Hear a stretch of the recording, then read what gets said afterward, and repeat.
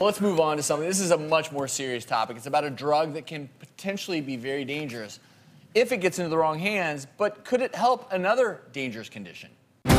Ketamine, a hallucinogen commonly known in the drug scene as Special K, was originally designed as an anesthetic drug used in surgery on both humans and animals. But this drug, if used recreationally and without medical supervision, can have serious negative side effects, which could include blurred vision, confusion, increased or decreased blood pressure, mental or mood changes, and even death.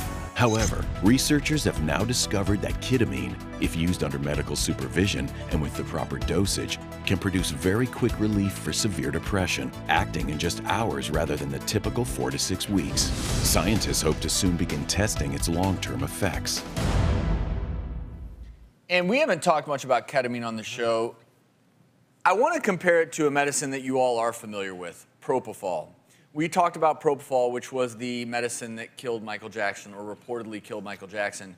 Ketamine is used in very similar circumstances mm-hmm. in the hospital in the emergency department. It is a medicine that is given, it's a dissociative medicine.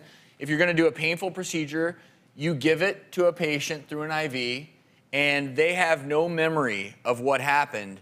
And on the street, it's obviously used for different. For different things because it has a hallucinogenic effect.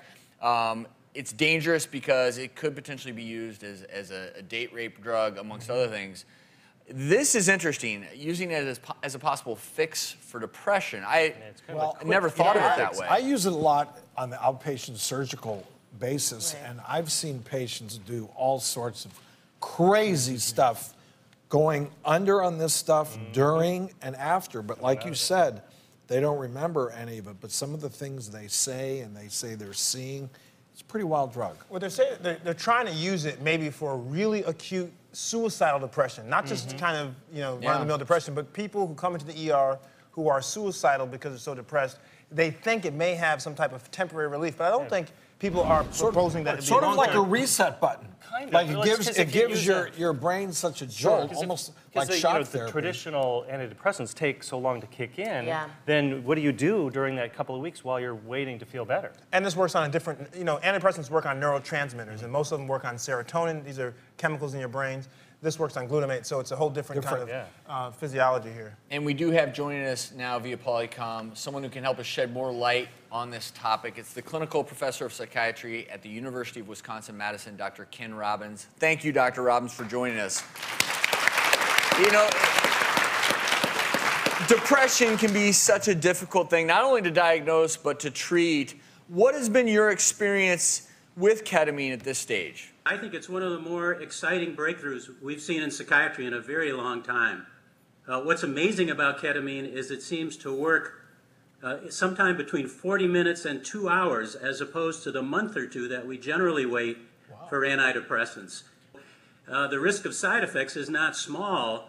However, in the studies that have been done, you know, we know that about 20 to 30 percent of people who have depression, and this is a very severe illness, will not get better with the treatments that are currently available.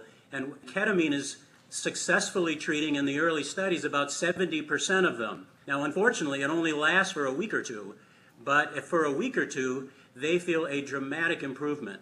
There's also an effect of ketamine on improving the growth of brain cells, which also looks uh, very interesting. And I want to emphasize to everyone at home this is still in the stage of testing, and we're talking about a controlled clinical environment. Special K, the street name of this drug, very dangerous.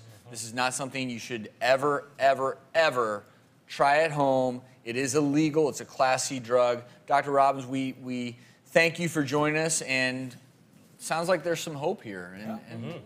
maybe maybe this is another. Yeah, it's very treatment. exciting. Thank you so very much.